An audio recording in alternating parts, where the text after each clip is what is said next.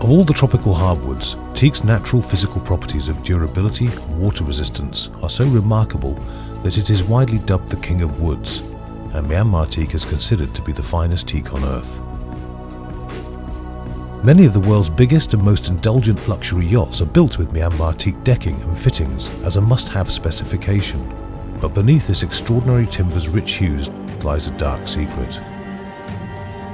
Undercover investigations by the Environmental Investigation Agency, or EIA, during the past seven years have stripped back the appealing veneers of luxury, respectability and sustainability to reveal that Myanmar's teak trade is rotten to the core, with crime and corruption.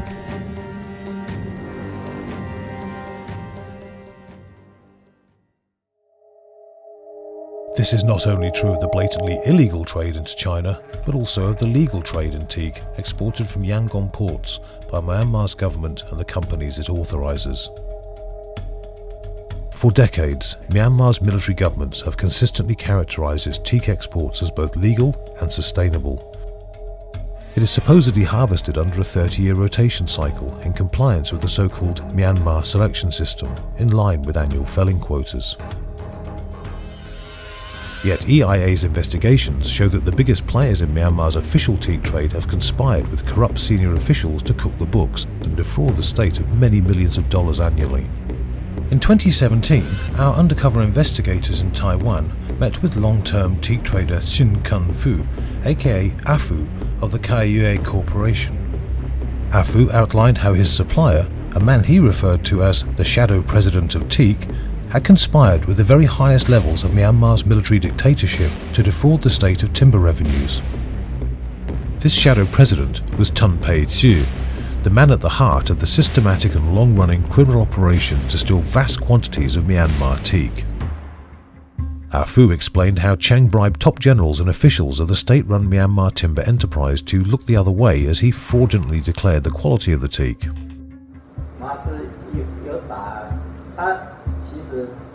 是打是打打五号六号，可是下来木头都是一号二号，一号二号对，可是嘛，他们在上面买就是买打五号就买五号价钱啊，来这边买卖一号的。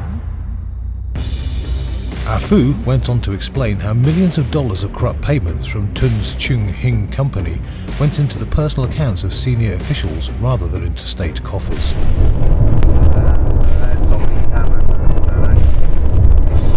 Ultimately, our Prime Minister for the lot during that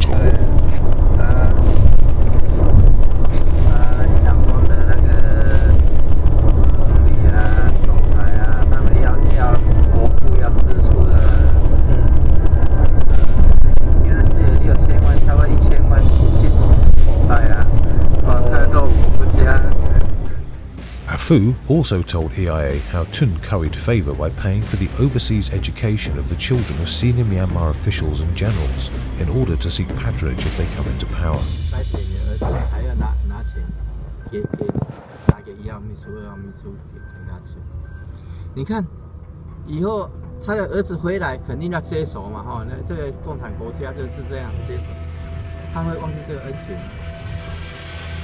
Painstaking research by EIA subsequently revealed the multiple identities of the shadow president of Teak, who had adopted the name Cheta Apipatana, as well as his Chung Hing companies in Hong Kong. This research uncovered the network of companies and alliances underpinning Tun's corrupt operation, which spanned Myanmar, Thailand, Malaysia and Singapore, and which was centered on the companies Thai Sawat, Northwood, Timberlux and Pacific Timber Enterprise.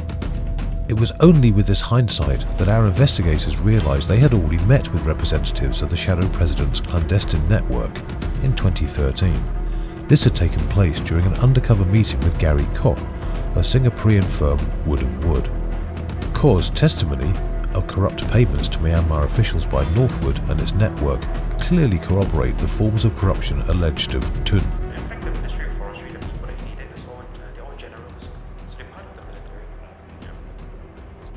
So whatever you pay to MTE goes to their personal pockets anyway? Uh,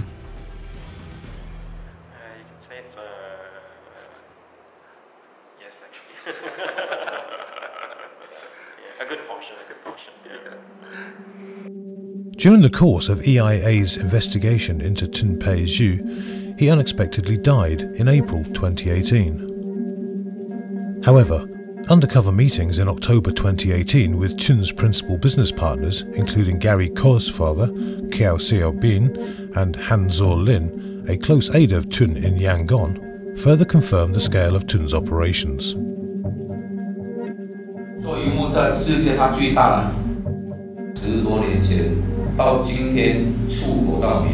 做 Han Ling said Tun was able to secure special quotas from government to government contracts. Tun's firm, Thai Sawat, is known to have secured major logging opportunities in Myanmar following meetings with senior Thai and Myanmar military officials in the late 1980s and early 1990s. The taint of Tun's criminal network is not restricted to Asia. Huge quantities of the shadow president's corrupt teak flows into Europe and US markets in violation of the EU timber regulation and the US Lacey Act respectively. In Europe, Tun's operations used long-term teak trader Luca Rossi as an agent and trustee through his operation of Timberlux in Trieste, Italy. All their EU shipments are now routed through Italy. All to Italy? The, the uh, the uh, go finally, it's easier. The, our no, no, send the order to your, the, our agent, the Italy trustee, and they can. The biggest teak importers in the US also opt for Tun's corrupt wood. The biggest of these is East Teak Fine Hardwoods, which has purchased a quarter of its timber imports during the past decade from three companies controlled by Tun and from Taiwan's Kaiyue Corporation. In 2015, EIA released the report Organized Chaos, which detailed the resurgence of multi-million dollar timber smuggling from Myanmar's Kachin state into China's Yunnan province, all carried out with the collusion of state officials from both countries. We returned to the area in 2018 and found lower levels of cross-border trade, due to a clampdown in 2016, but with a switch in operations to teak. Our investigators met with well-connected traders who told us how they were able to take significant quantities of teak across the land border in violation of Myanmar's law. Then how are you able to get in? You let the customs declaration company handle it for you?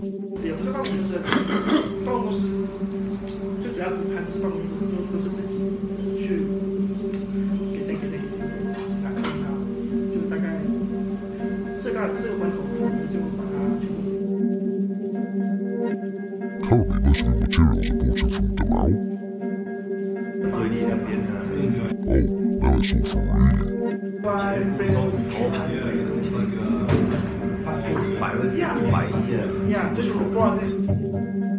In China, most of the smuggled teak ends up in the Chinese market for use in high-end apartment blocks and luxury shops, but some traders use it to supply overseas clients. Myanmar's teak forests have been devastated by rampant overharvesting, often authorized by Myanmar's military governments as a direct consequence and function of corruption. Myanmar's current government claims it has committed to reform and has put some new measures in place, but scratch the surface and the same structures remain in charge of forestry and timber trade. Most crucially, the Myanmar Timber Enterprise, a state-owned organization and Tun's principal in-country collaborator, remains in place and unable to change.